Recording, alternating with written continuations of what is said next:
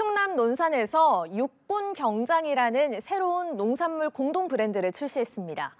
육군 훈련소의 도시답게 믿음직한 군인처럼 농산물도 논산시가 인증해서 소비자들이 믿고 먹을 수 있도록 만들겠다는 계획입니다. 이호진 기자입니다.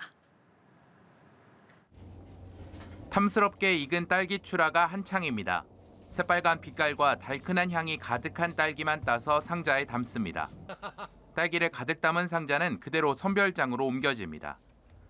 논산을 넘어 충청남도 대표 특산물로 자리 잡은 논산 딸기이지만 농가에서 바로 소비자들에게 판매되지 않고 한 번 더 검증 과정을 거칩니다. 그렇게 선별된 딸기를 상자에 담아 육군 병장 스티커를 붙입니다.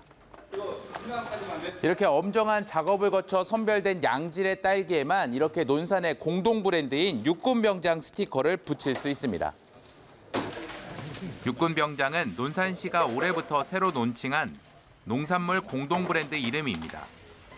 국방과 군수 산업의 중심지라는 논산의 이미지와 믿음직한 군인의 이미지를 합쳐 만들어졌습니다. 논산시 공동 브랜드 육군 병장이 있어서 어, 저희가 팔 때도 좋고요. 소비자도 신뢰, 안전도 믿고 드실 수 있어 좋습니다.